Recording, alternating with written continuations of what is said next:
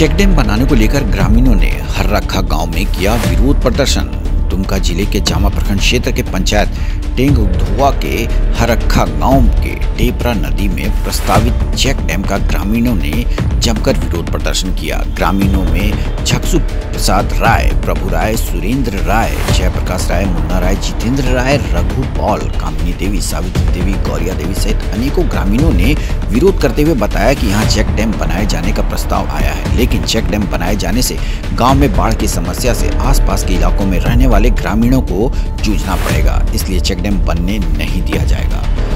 विरोध प्रदर्शन में शामिल पूर्व विधायक जरमुंडी विधानसभा क्षेत्र के दीपनाथ राय ने जानकारी देते हुए बताया कि इस चेक डैम से ग्रामीणों के लिए भविष्य में नुकसानदायक साबित हो सकता है। इसी वजह से ग्रामीणों ने विरोध प्रदर्शन किया है।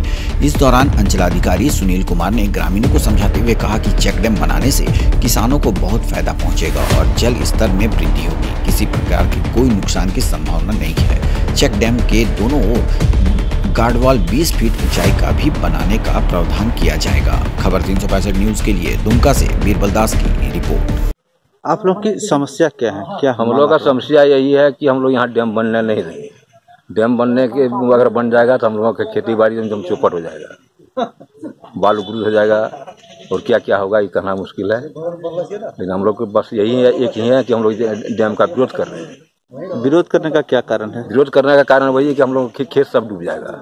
और पहले भी दो हज़ार उन्नीस बीस में जो बाढ़ आया था उस समय भी अभी तक बालू है ये हम लोग का। अभी तक सीओ साहब को कितने कितना को कितना को लिखे कुछ नहीं हुआ। क्या आप लोगों का समस्या क्या है? तो समस्या देखिए नहीं तो सरकार एक तो पैदा कर दिया है एक तो अपने हम लोग इक्कीस माने दो हज़ार और दो हज़ार एक में ये हो गए। बाढ़ से फंसे हैं। आज एक तो नया प्रॉब्लम खड़ा कर दिया चेक डैम बना रहा उसी पॉइंट पर।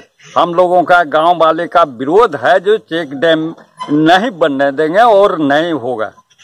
नहीं बनना चाहिए। क्या कारण है उसका? हाँ? विरोध करने का क्या रीजन है?